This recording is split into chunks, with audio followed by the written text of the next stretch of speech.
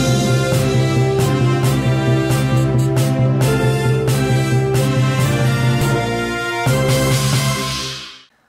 Và sau đây là phần tin Việt Nam. Tổng thống Joe Biden xác nhận là giới lãnh đạo Việt Nam muốn gặp ông để nâng tầm mối ban giao giữa hai nước. Tổng thống Hoa Kỳ Joe Biden cho biết giới lãnh đạo Việt Nam muốn gặp và hội đàm với ông tại hội nghị thượng đỉnh khối G20 diễn ra vào tháng 9 tới đây ở New Delhi để thảo luận về việc nâng tầm mối ban giao giữa hai nước. Phát biểu trước hàng chục nhà tài trợ ủng hộ chiến dịch tái tranh cử năm 2024 của ông tại một sự kiện ở Freeport, tiểu bang Maine, Tổng thống Biden cho biết là tôi đã nhận được cuộc gọi từ người đứng đầu chính phủ Việt Nam rất muốn gặp tôi khi tôi tới G20. Ông ấy muốn nâng tầm chúng tôi trở thành một đối tác lớn ngang hàng với Nga và Trung Quốc.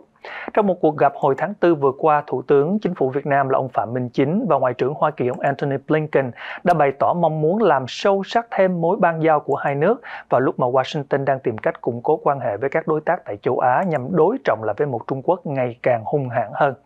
Ngoại trưởng Blinken khi đó hy vọng rằng việc đó có thể diễn ra trong những tuần và những tháng tới. Washington đã và đang nỗ lực nâng tầm quan hệ với Hà Nội từ mức đối tác toàn diện lên thành mức đối tác chiến lược, tức là ngang hàng với Trung Quốc và Nga. Hiện tại vẫn chưa rõ việc nâng tầm mối ban giao có thể sẽ dẫn tới những điều gì, nhưng các chuyên gia cho rằng nó có thể bao gồm việc tăng cường hợp tác quân sự và Hoa Kỳ cũng sẽ cung cấp vũ khí cho Việt Nam.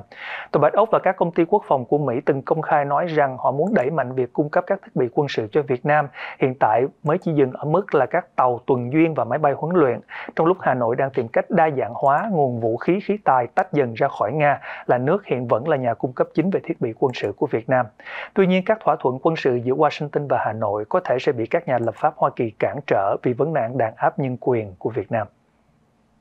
Tỷ lệ bị ung thư của Việt Nam cao thứ nhì thế giới, 82.000 người chết mỗi năm.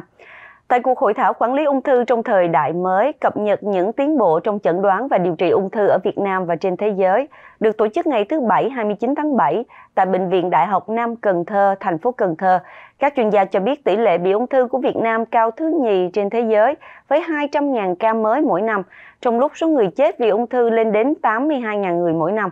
Tỷ lệ người chết do ung thư tại Việt Nam là 73,5%, cao hơn nhiều so với tỷ lệ trung bình của thế giới là 59,7% và tỷ lệ trung bình của các quốc gia đang phát triển là 67,9%. Ba loại bệnh ung thư thường gặp ở Việt Nam là phổi, gan, dạ dày đều là bệnh có tỷ lệ tử vong cao. Theo thống kê từ Tổ chức Y tế Thế giới WHO năm 2020, tỷ lệ mắc ung thư mới tại Việt Nam đã tăng lên 9 bậc, xếp thứ 90 trên 185 quốc gia, Tỷ lệ tử vong do ung thư tăng 6 bậc, xếp thứ 50 trên 185 quốc gia so với năm 2018. Như vậy, chỉ sau 2 năm, tỷ lệ mắc ung thư mới tại Việt Nam đã tăng chóng mặt và có xu hướng ngày càng trẻ hóa với không ít những người trong độ tuổi 20-30 đã phát hiện mắc bệnh. Các bác sĩ cho rằng nguyên nhân là do giới trẻ ngày nay tiếp xúc sớm với các tác nhân gây bệnh ung thư như tia bức xạ, ánh nắng mặt trời, phẩm nhuộm hay các loại vi khuẩn HB, viêm gan B, có trong rượu bia, đồ uống. Bên cạnh đó, lối sống ít vận động, ngồi văn phòng, lệ thuộc vào thiết bị điện tử, thức khuya, chế độ ăn uống không lành mạnh, ít rau quả, nhiều đạm, muối, hút thuốc lá, rượu bia và tình trạng ô nhiễm môi trường nước và không khí cũng là nguyên nhân khiến tỷ lệ người mắc bệnh ung thư tại Việt Nam ngày càng tăng cao. Và chuyện chỉ có tại Việt Nam, xa lộ Phan Thiết dầu dây vừa khánh thành không lâu đã bị ngập nặng chỉ sau một cơn mưa.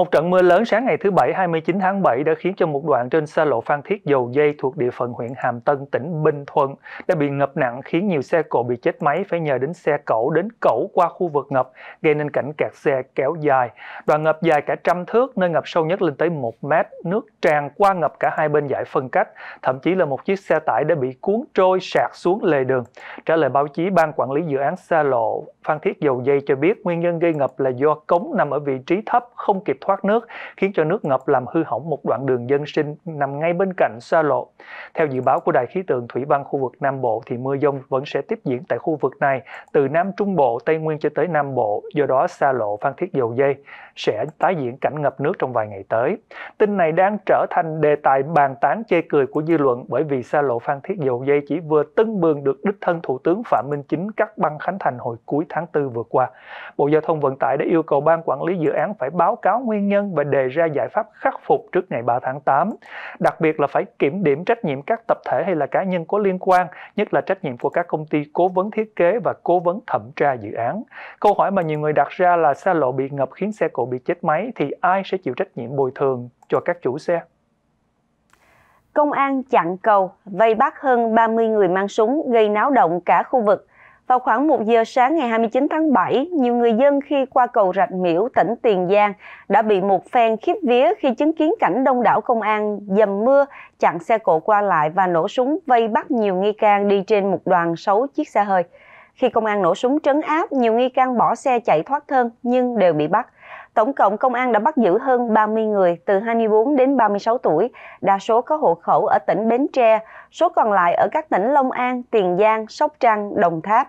Khám xét 6 chiếc xe, công an phát hiện và tịch thu 4 khẩu súng, nhiều áo chống đạn, dao bấm, bình xịt hơi cay. Các nghi can khai rằng họ vừa kéo quân qua cầu Rạch Miễu để giải quyết mâu thuẫn. Khi đang trên đường về lại Bến Tre thì bị bắt giữ. Công an tỉnh Tiền Giang cho biết họ đang phối hợp với Công an thành phố Mỹ Tho và các đơn vị nghiệp vụ khác mở cuộc điều tra và xử phạt nhóm người này.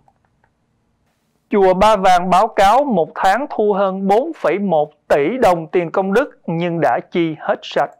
Ngày 28 tháng 7, sư trụ trì chùa Ba Vàng là Đại đức Thích Trúc Thái Minh đã ký văn bản báo cáo về việc quản lý thu chi tiền công đức gửi lên Ủy ban nhân dân thành phố Uông Bí tỉnh Quảng Ninh theo yêu cầu của chính quyền thành phố. Theo bản báo cáo thì trong khoảng thời gian từ ngày 19 tháng 3 đến ngày 30 tháng 4, tiền công đức mà chùa Ba Vàng nhận được là 4 tỷ 164 triệu 500 ngàn đồng nhưng cũng chi tiêu hết khoản tiền này cho các hoạt động từ thiện.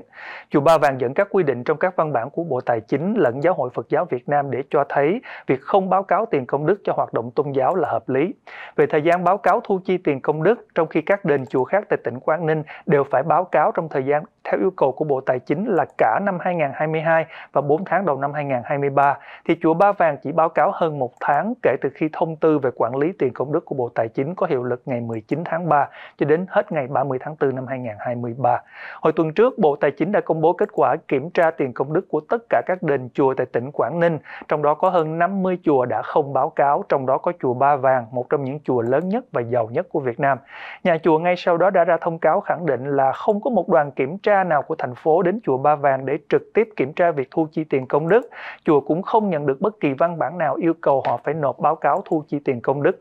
Về kết quả báo cáo tổng số tiền công đức thu hơn 4,1 tỷ đồng và đã chi ra cũng đúng số tiền này, cộng đồng mạng đã bình luận rằng phúc quá chưa báo lỗ như công ty điện lực EVN. Và đó là các bản tin đến từ Việt Nam. Sau một vài thông tin thương mại, chúng tôi sẽ trở lại với phần tin Showbiz. Xin kính mời quý vị vẫn tiếp tục theo dõi.